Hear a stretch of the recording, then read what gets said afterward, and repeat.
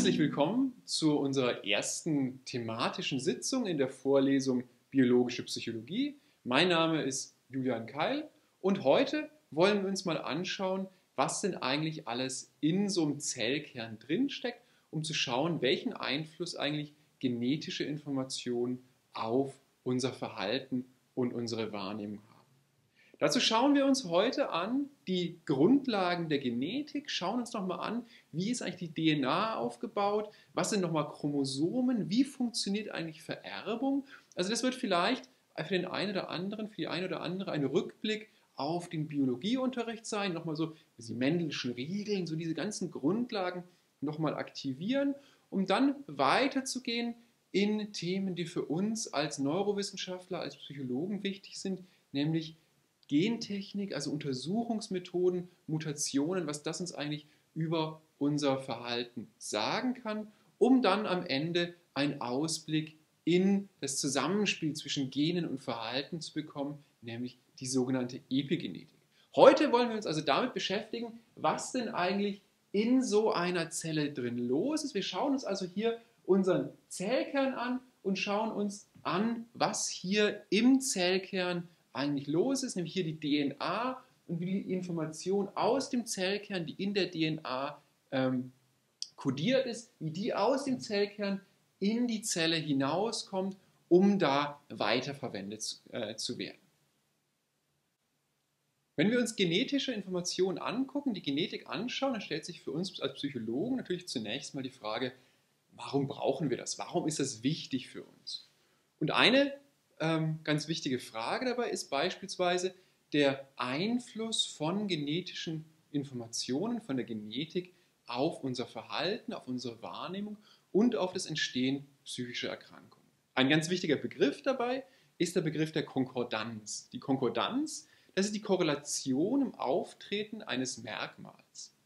Und wir können hier uns anschauen für beispielsweise unterschiedliche psychische Erkrankungen, wie hoch die Konkordanz ist zwischen unterschiedlichen Verhalten, äh, Verwandtschaftsgraden.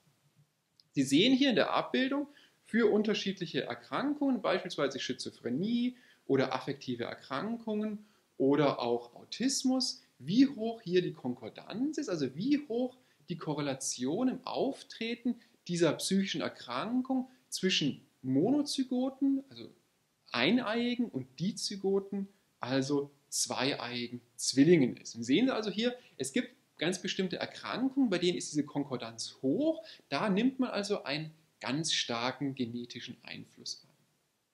Genauso können wir uns das eben auch auf eine andere Art und Weise anschauen. Wir können uns überlegen, wie groß ist das Risiko im Leben an einer ganz bestimmten Krankheit zu erzeugen, gegeben einer ganz bestimmten Verwandtschaftsbeziehung. Und hier sehen wir am Beispiel von der Schizophrenie, dass diese Wahrscheinlichkeit an einer Schizophrenie zu erkranken ansteigt ähm, mit dem Verwandtschaftsgrad zu einem bereits an Schizophrenie erkrankten, zu einer äh, bereits an Schizophrenie erkrankten Person.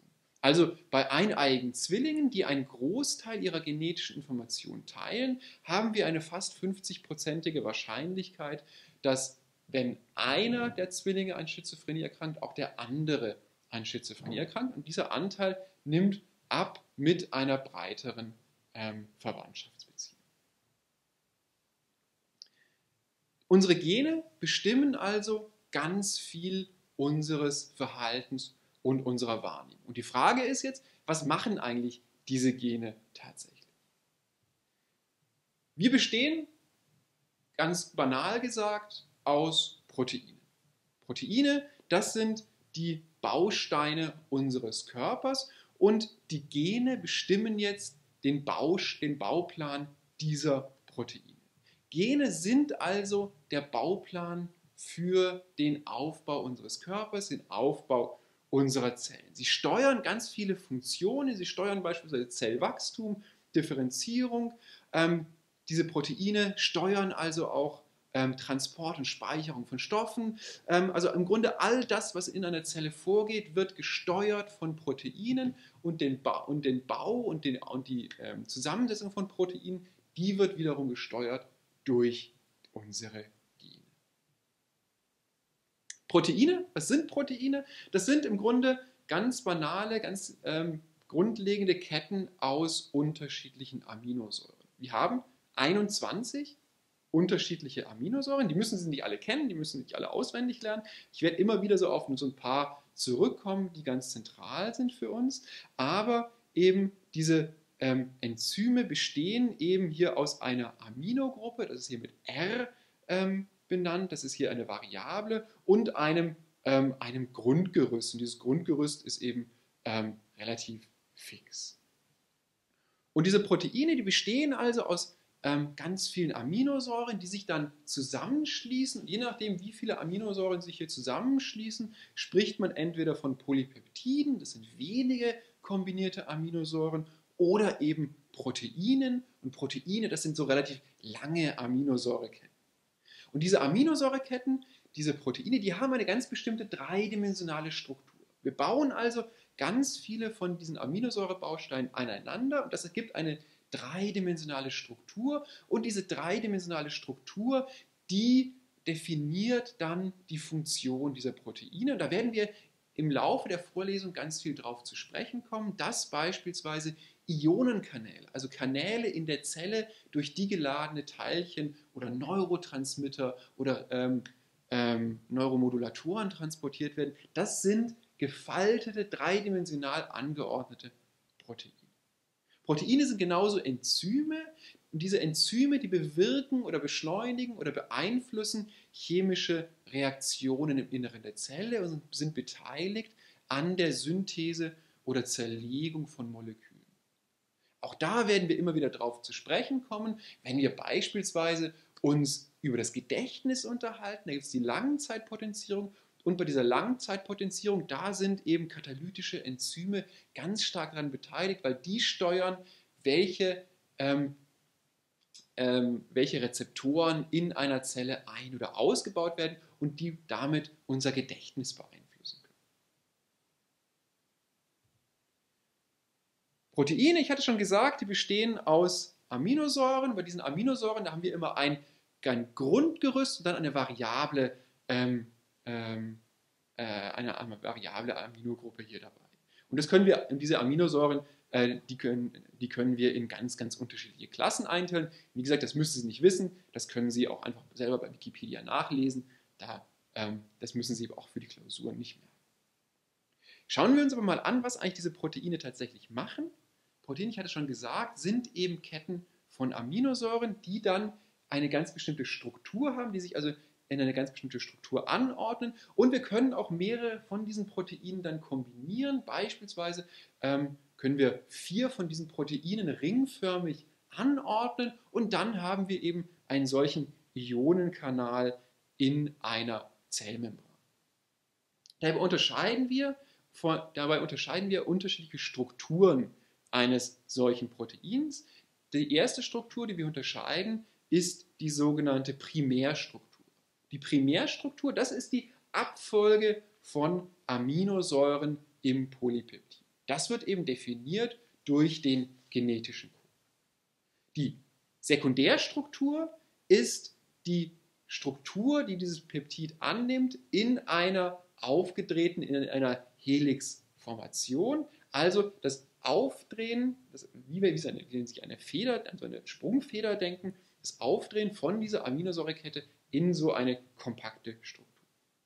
Die Tertiärstruktur wiederum ist dann das Falten von dieser Sekundärstruktur. Also wenn wir einmal diese ähm, Helix gebildet haben, dann können wir die auch noch falten in die Tertiärstruktur und dann haben wir schlussendlich die Quartärstruktur. Das ist dann der Zusammenschluss von mehreren Proteinen in eine funktionelle Einheit. Gesteuert wird dieser Aufbau eines Proteins und die Abfolge der einzelnen Aminosäuren durch unsere DNA. Die DNA kodiert, in welcher Reihenfolge welche Aminosäuren zusammengebaut werden. Unsere DNA wird, äh, besteht aus drei Anteilen. Das, ähm, das ist ein Zuckerphosphat und eine Base, die sich zu einem sogenannten Nukleotid zusammenfassen. Ein Nukleotid ist also hier ein einzelner Baustein der DNA und wir haben hier vier unterschiedliche ähm, Nukleotide, die sich dann eben zu einem großen DNA-Strang zusammenfügen können. Dabei kodieren immer drei von diesen Nukleotiden zusammen Informationen, also ein sogenanntes Codon. Und wir haben da unterschiedliche ähm, Teile von oder unterschiedliche Arten von diesen Codonen. Wir haben Exons, das sind die tatsächlich informationskodierenden Anteile der DNA. Und wir haben Introne, das sind die nicht informationkodierende Anteile der DNA, die beispielsweise den Anfang oder das Ende des DNA-Strangs definieren.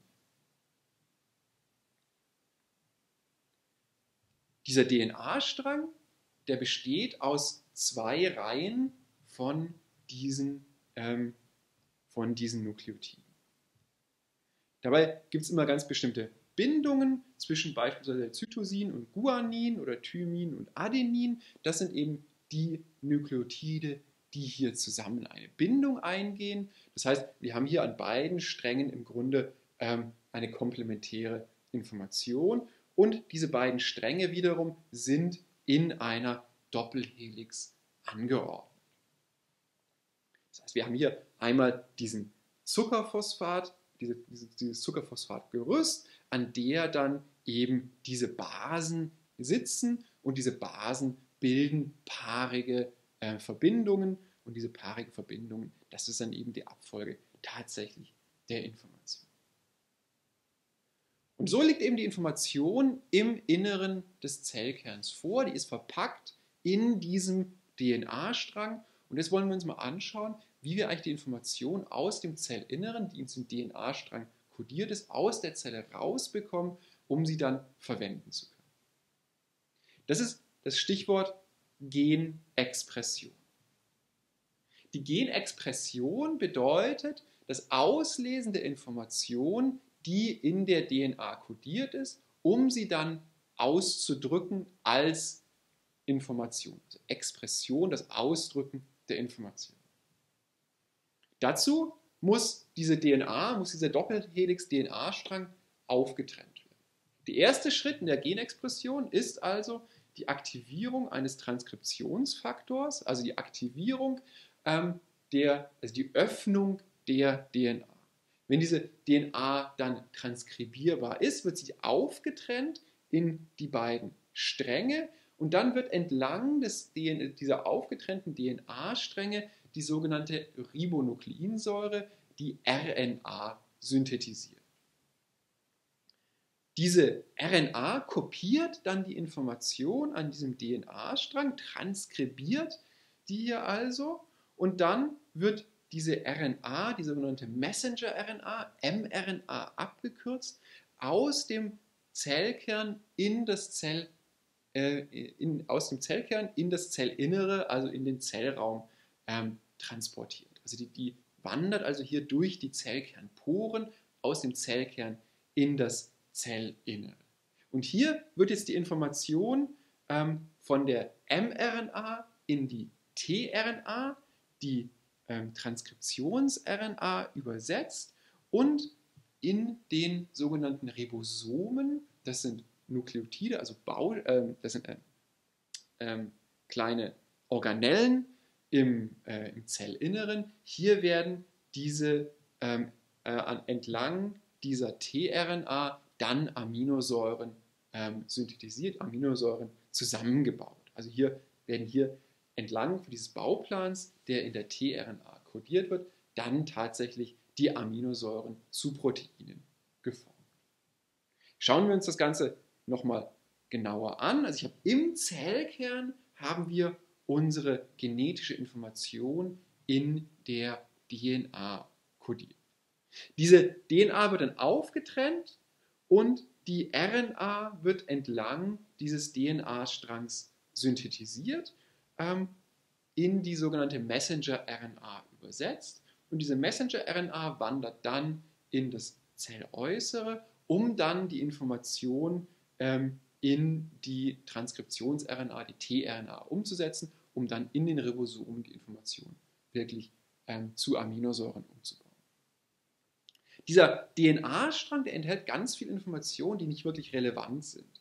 Es werden also nur ganz bestimmte Teile von diesem DNA-Strang ausgelesen, ähm, eben nur die Information, die in den Exonen steht, also sprich dieser ganz große DNA-Strang, der wird nur ganz bestimmte Teile ähm, tatsächlich übersetzt und dann vom im Weg von RNA zu mRNA werden nochmal Informationen ähm, reduziert, werden also hier nochmal ähm, Bereiche ähm, neu kombiniert, also gespliced, also zusammengefügt, ähm, dass wirklich hier nur die ganz relevante Information hier transportiert wird. Und wir werden am Ende dieser Vorlesung mal schauen, wie wir eigentlich definieren können, welche Teile hier relevant sind, wie definiert wird, welche Information hier tatsächlich ausgelesen werden soll. Das ist nämlich eine Fragestellung, die mit der sich die Epigenetik beschäftigt.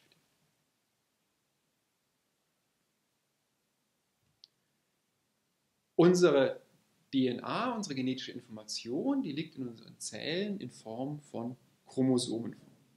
Chromosomen, das sind diese ähm, 23 Chromosomenpaare, diese paarig angeordneten ähm, Informationen, die aus 22 Autosomen und einem Chromosom, das sind die X und Y, also XX und XY Chromosomenpaare, ähm, bestehen.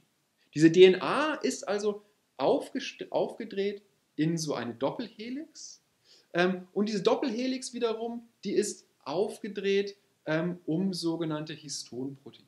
Diese Histonproteine, das sind ähm, Strukturproteine, die dieser DNA eine sichere, eine stabile Form geben. Das können Sie sich ein bisschen auf, äh, vorstellen wie so ein Gartenschlauch, der auf so eine Rolle aufgedreht wird. Genauso wird eben dieser DNA-Faden um diese ähm, Histone drumherum gewickelt.